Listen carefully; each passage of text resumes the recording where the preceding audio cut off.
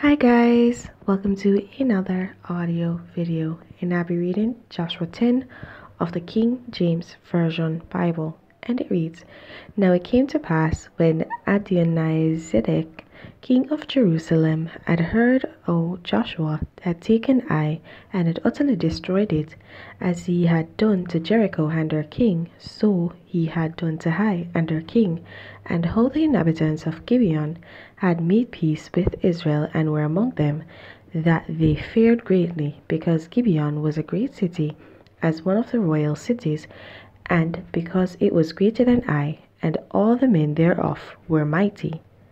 Before Adonizedec, king of Jerusalem, sent unto Hoham, king of Hebron, and unto Piran, Piram, king of Jarmuth, and unto Japhia, king of Lachish, Lachish, and unto Debir, king of Eglon, saying, Come up unto me, and help me, that we may smite Gibeon, for it hath made peace with Joshua and with the children of Israel. Therefore the five kings of the Amorites, the king of Jerusalem, the king of Hebron, the king of Jarmuth, the king of Lashi, Lachish, the king of Eglon, gathered themselves together and went up, they and all their host, and encamped before Gibeon, and made war against it. And the men of Gibeon sent unto Joshua to the camp of Gilgal, saying, Slack not thy hand from thy servants. Come up to us quickly, and save us, and help us, for all the kings of the Amorites that dwell in the mountains are gathered together against us. So Joshua ascended from Gilgal, he and all the people of war with him, and all the mighty men of valor. And the Lord said unto Joshua, Fear them not, for I have delivered them into thine hand. There shall not a man of them stand before thee. Joshua therefore came unto them suddenly, and went up from Gilgal all night. And the Lord discomfited them before Israel, and slew them with a great slaughter at Gibeon, and chased them along the way that goeth up to Bethhoron, and smite them to Azekah, and unto Makkedah. And it came to pass as they fled from before Israel and were in the going down to Bethhoron, that the Lord cast down great stones from heaven upon them unto Azekah, and they died. They were more which died with hailstones than they whom the children of Israel slew with the sword. Then spake Joshua to the Lord in the day when the Lord delivered them, delivered up the Amorites before the children of Israel, and he said, In the sight of Israel, Sun, stand thou still upon Gibeon, and thou, moon, in the valley of Ajalon. And the sun stood still, and the moon stayed until the people had avenged themselves upon their enemies. It is not this is not this written in the book of Jasher? So the sun stood still in the midst of heaven, and hasted not to go down about the whole day. And there was no day like that before it or after it, that the Lord hearkened unto the voice of a man, for the Lord fought for Israel. And Joshua returned, and all Israel with him, unto the camp of Gilgal. But these five kings fled and hid themselves in the cave in the cave in a cave at Makkedah. And it was told Joshua, saying, The five kings are found in a cave at Makkedah. And Joshua said, Roll great stones upon the mouth of the cave, and set the men by it for to keep them. And stay ye not, but pursue after your enemies, and smite the hindmost of them. Suffer them not to enter into their cities, for the Lord your God hath delivered them into your hand. And it came to pass, when Joshua and the children of Israel had made an end of slaying them with a very great slaughter, till they were consumed, that the rest which remained of them entered into fenced cities. And all the people returned to the camp to Joshua at Makkedah in peace. None moved his tongue against any of the children of Israel. Then said Joshua, Open the mouth of the cave, and bring out those five kings unto me out of the cave.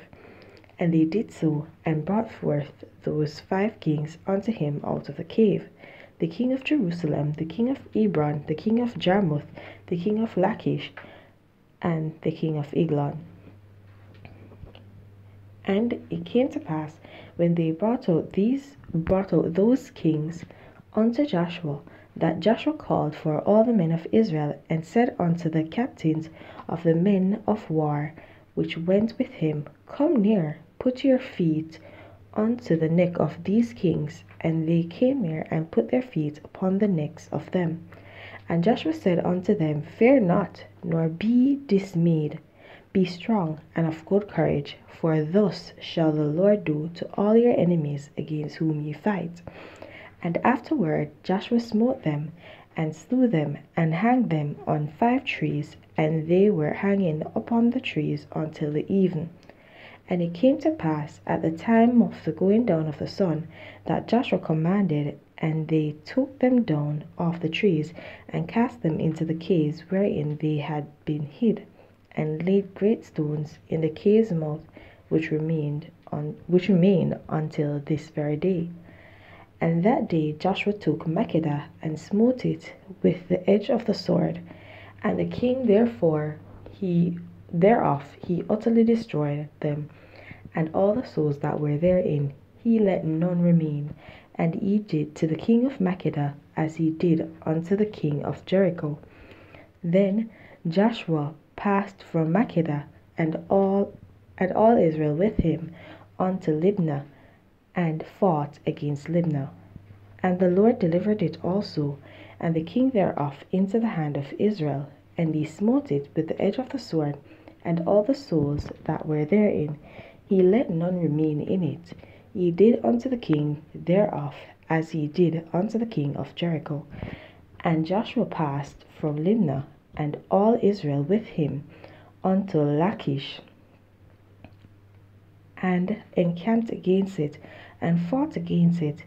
And the Lord delivered Lachish into the hand of Israel, which took it on the second day and smote it with the edge of the sword, and all the souls that were therein according to all that he had done to Libnah. Then Horam, king of Gezer, came up to help Lachish, and Joshua smote him with his people until he had left him none remaining. And from Lachish Joshua passed unto Eglon, and all Israel with him, and they encamped against it and fought against it, and they took it in one in took it on that day and smote it with the edge of the sword, and all the souls that were therein he utterly destroyed that day, according to all that he had done to Lachish. And Joshua went up from Eglon, and all Israel with him, unto Hebron, and they fought against it, and they took it, and smote it with the edge of the sword, and the king thereof, and all the cities thereof, and all the souls that were therein.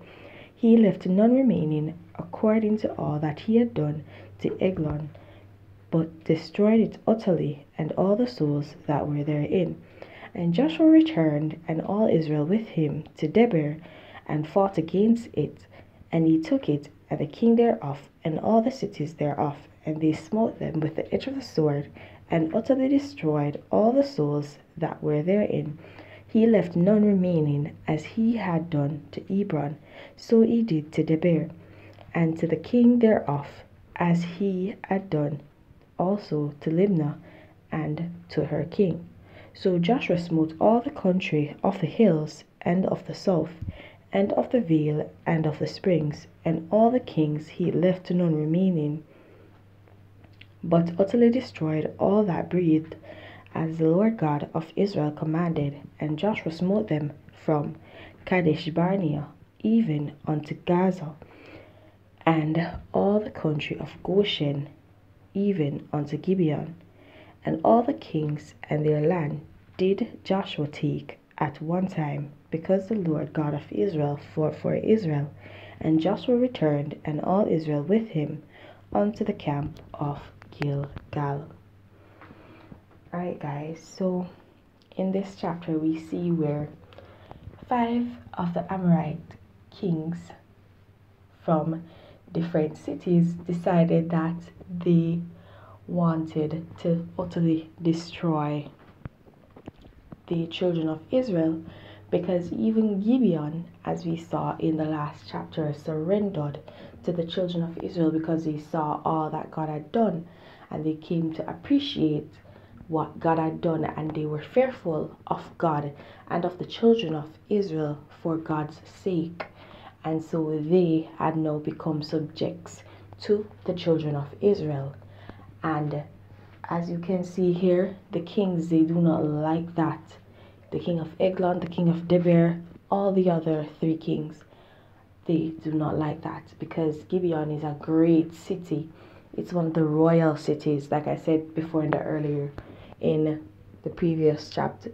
Chapter, um, Gibeon was a mighty, was a city of mighty men, and so for them to surrender and be subject to Israel that would instill fear in many to come. And what happened is that these five Amorite kings, they wanted to seize that because they didn't want Israel to come up and be mightier than them. Because if if might, the mighty men of Gibeon can actually surrender to the children of Israel, that does not bode well for them. That does not look well for them. And so they want to seize it, they want to nip it in the bud Okay, it's a strategy. So all of them came and they gathered together and they decided to take on Gibeon since they won't they don't want to take on the children of Israel directly because they are still fearful of the children of Israel.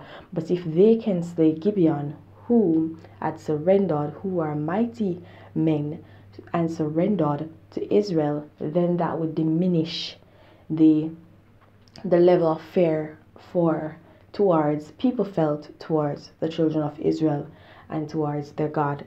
But because the people of Gibeon were now subject unto Israel, then they were also under that protection from those Amorite kings and from those Amorite nations.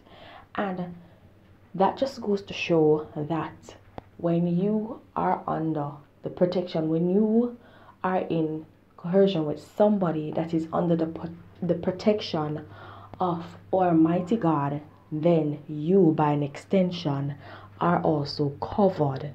It's like with an anointing. I recall in the Bible study, we spoke about the anointing that people get, and sometimes that anointing that you have it trickles down to your family members, not because they're good and not because they're so um, faithful to God, but because of you, because of the anointing that is on your life, and because of the blessing that God has bestowed unto you, it has trickled over to your family as a result.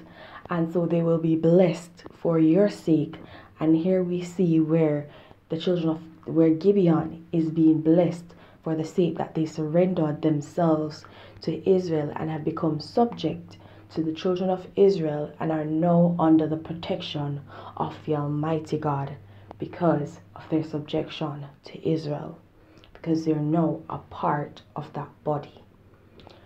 Alright, guys, so if there's anything to learn from this chapter, if there's anything you should take from this chapter, is that once you're under the protection of the Lord, he will indeed cover you and He will protect your family and He will cover your family also. So, when you have trials that you're facing, do not be so focused on your family and say, Oh, my family is going to come under spiritual attack and all those things. Just do the work that God has laid out for you and press on, and He will cover all other aspects of your life for you.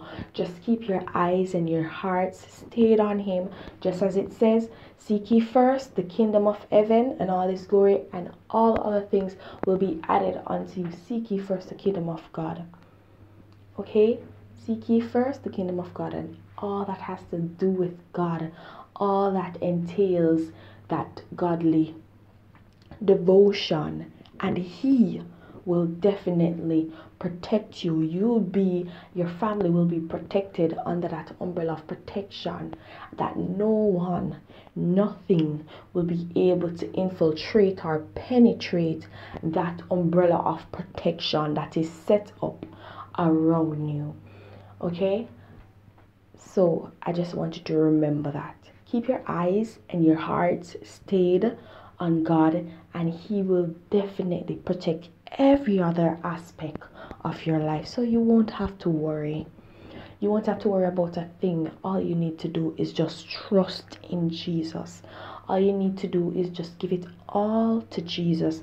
All you need to do is keep your heart and your eyes stayed on Him, and He will die. He will definitely, definitely direct your path, cover you, and lead you. Alright, guys. Alright, so these are my few words to you. Please don't forget to like, subscribe, and hit that notification so you're alerted whenever a new audio video is posted. And guys, please don't forget to share your thoughts, your comments, and your revelations down below. Okay, and please remember you don't need to agree with me and if there's something that you want to query you can most definitely do so. And if there is something that if there's a question that you actually want to ask you are free to ask. My instagram link is down below so you can hit me up through my instagram and uh, okay? Alright guys so do have yourselves a blessed day in christ Remember, if you have your salvation, keep it. If you have not, if you have not yet found it, seek it. Have yourselves a blessed day. Bye.